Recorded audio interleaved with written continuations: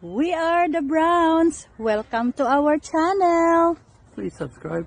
Thank you.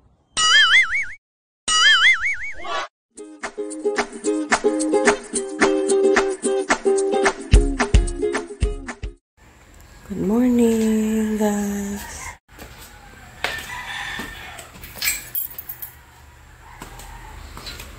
Morning, everybody.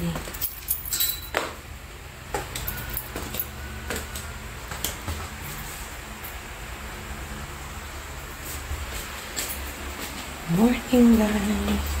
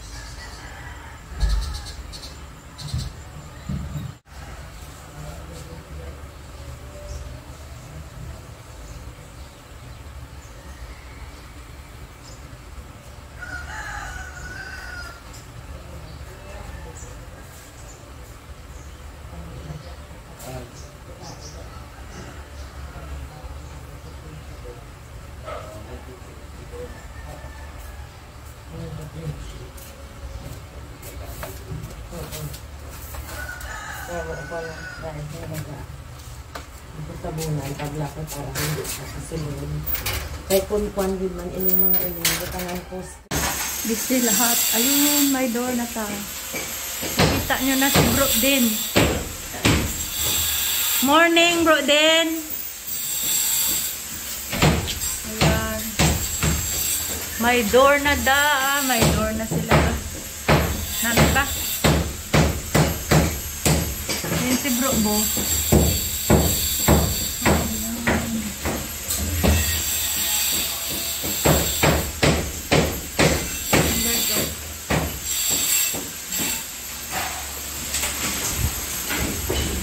In this side, ayan si Toto. Nasa bathroom na siya. Guys, pag-serve na kami ng ano nila, ah, pagkain nila in a minute. So, the rice is cooked. Yeah, ito yung rice cooker na bago. Turn off na natin. Kunin na siya. Ayan. These are the food. Yan guys. Tapos mayroon pa dito. Sa likod. What's this? Ay! May isda kami guys. Ayan. Isda. Tinurito na. Tara! And then, may ano kami guys. May sabaw. May noodles. And then we have iba naman sa ano sa sa lunch nagluto kami ng yung may hmm, langka we cooked langka ay Ending oh, may ano siya, curve-curve oh. yeah Oo.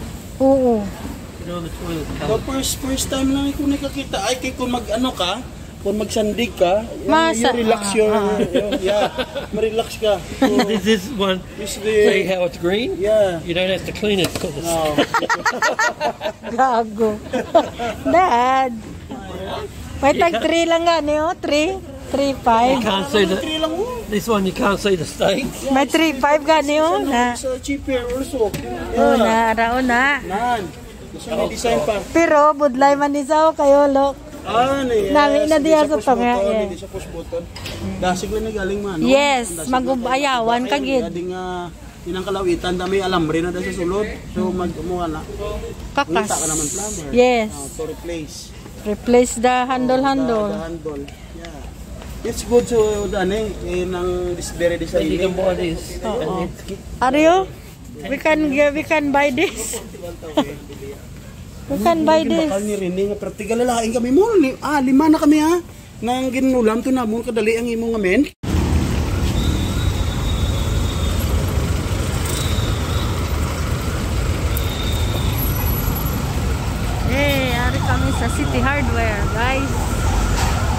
you wanna buy them?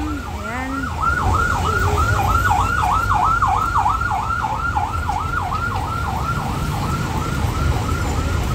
It's more fun in there.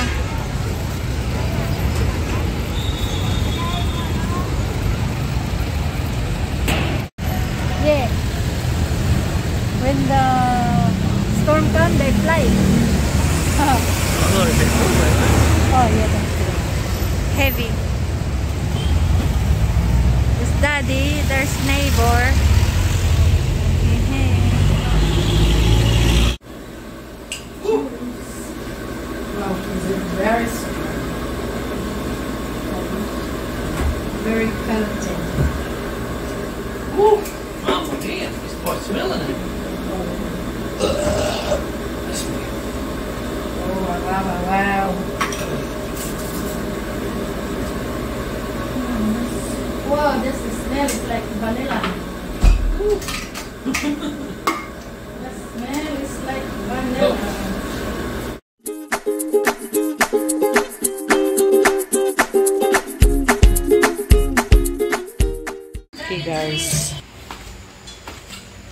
Okay, guys, dad's music is very, very loud.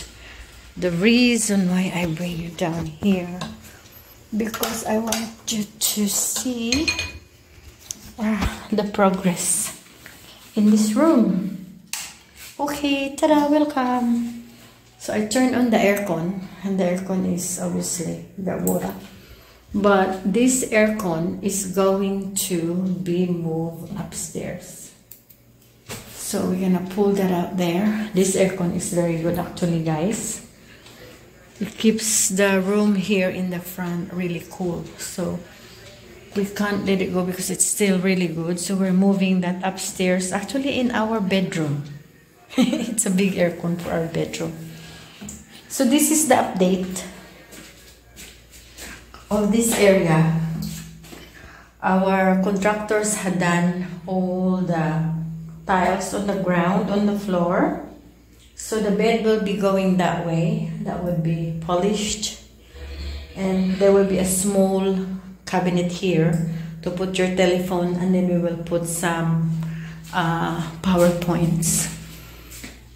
So this PowerPoint will be staying here, but he will, Mano will fix the wire. That's the, the go with that one.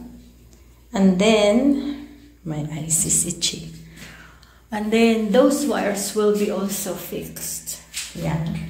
And we also have one here, our PowerPoint again. So this could be for anything.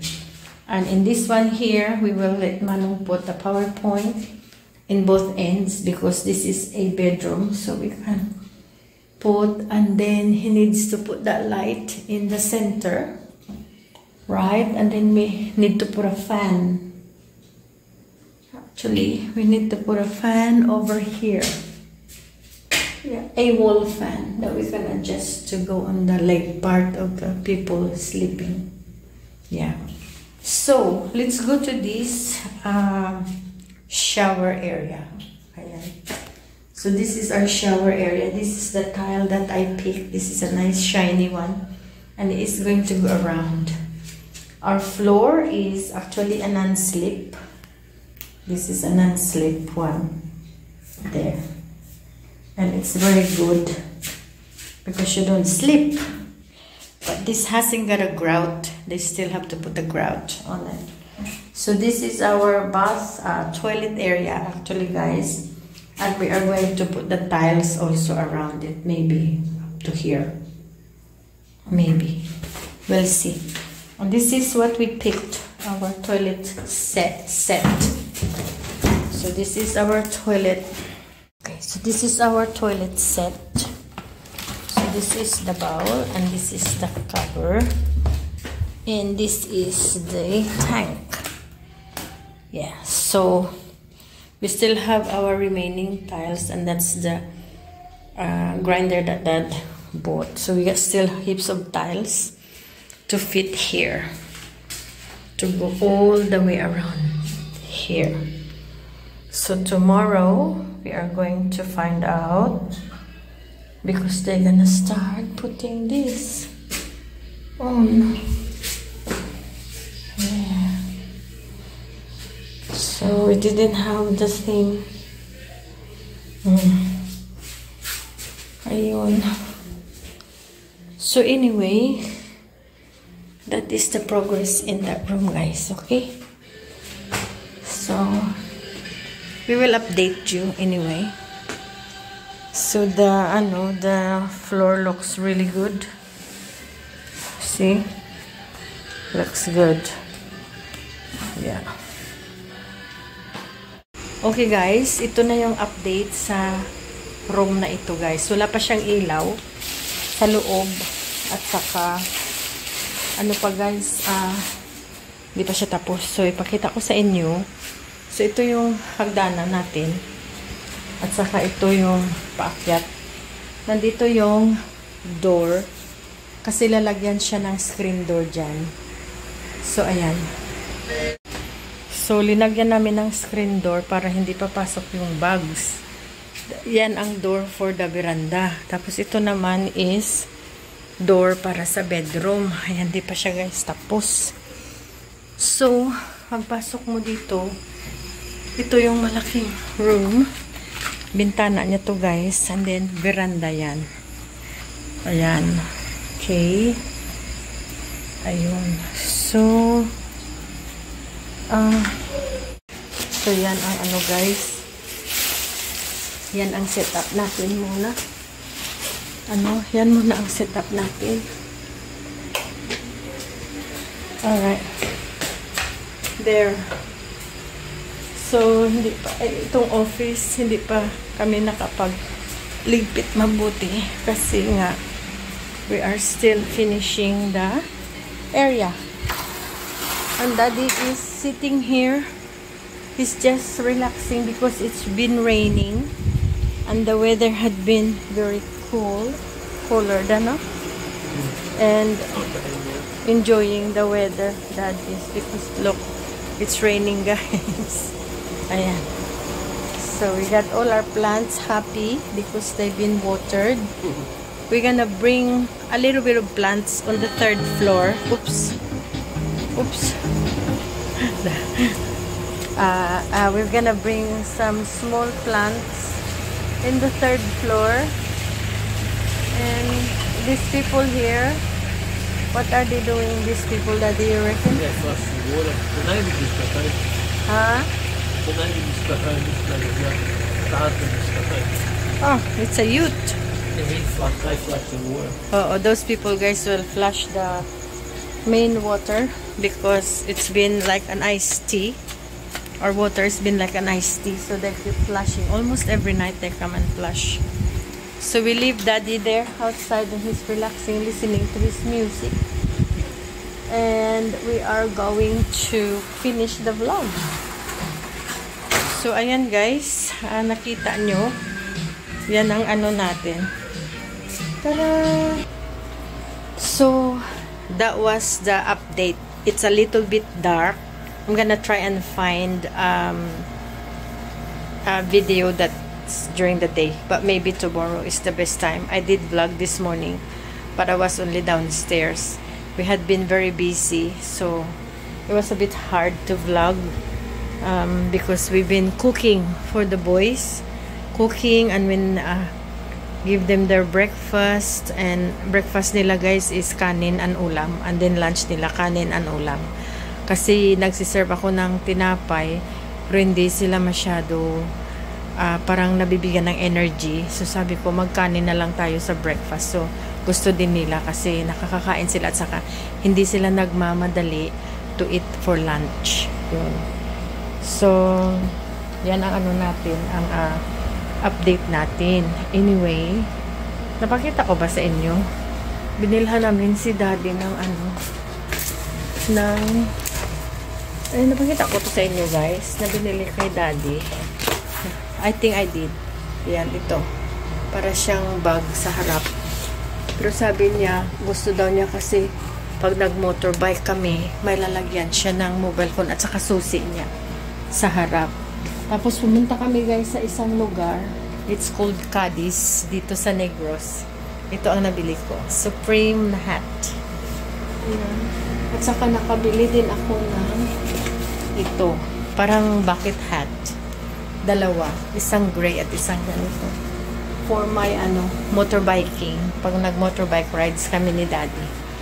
So yan guys, ang ano natin, ang ah, vlog natin for tonight. So sana nag-enjoy kayo sa ano natin, sa vlog natin. Update-update ko lang kayo guys minsan ah, sa mga nangyayari. Pero sa calculations ko, mga 2 to 3 weeks na lang, ah, at least 2 weeks guys, ang ano, ang linagay namin na sa trabaho nila or 2 weeks and a half na everything is finished. Kasi dinagdagan namin yung mga workers namin. Noon ano lang eh, tatlo. So ngayon, nagiging ano na sila. Ah, anim. Anim na sila. So dinagdagan ng tatlo. So nagdouble ang crew. So we are expecting the job to get done as quick as we can. So bago sila dumating tomorrow morning, i-make sure ko na i-vlog ko muna para makita nyo guys ang sitwasyon kasi madilim today. Hindi nyo makita yung labas. Nagpalagay kami ng railing doon sa veranda sa likod. Nasa likuran kasi siya ng bahay so kailangan siya magkaroon ng grills. Ngayon yung grills na yun, gagawin ko na parang area na kakabitan ng mga orchids na collection ko at mga halaman na kinukulik ko ba na ihang. So, kaya linagyan siya ng grills na ganyan kasi para maikabit yung mga paso ng orchids. Ayun. So, may kaibigan kasi ako guys na mahilig sila magbigay ng orchids sa akin. So, sabi ko dapat ko alagaan ito kasi syempre, yun know, at saka hindi sila nahihinto mamulaklak. So, shout out to our uh, bro in Bita Guardians na si Bro Livy who always give me orchids guys kahit saan siya pumunta. Naalala talaga niya ako. So, ayun. Thank you so much guys for watching. This is our life in Philippines and we are happy here. So, pag gusto niyo tumira guys sa Pilipinas, come on down. Let's go at maging masaya kayo dito. Ba- basta, pilitin nyo na maging ano lang, simple living lang guys. Para na masaya at walang pressure.